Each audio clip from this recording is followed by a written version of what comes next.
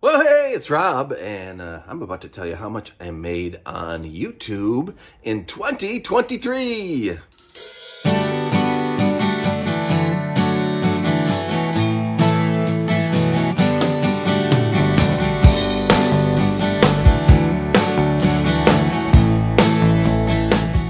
Hey, hey, well, it's Rob, and of course, Diego by my side, who just got groomed. You're looking good, Diego, all right. Well, we're celebrating because I hit the 1,000 subscriber mark. I was hoping to do it before my birthday, and I did with like a week and a half to go.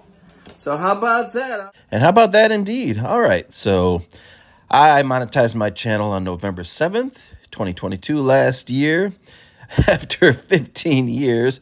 But really, I'd only been trying since uh, COVID, so maybe a couple years of actual concentrated effort to monetize my channel and get to a thousand subscribers.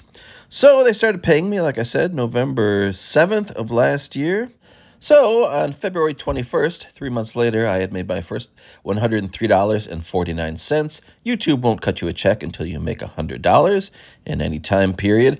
After that, four months later, June 21st, 102.64, I made 132.87 by October 23rd, four months after that. And just two months later, December 11th, another $100.47. My grand total for this year, $439.47.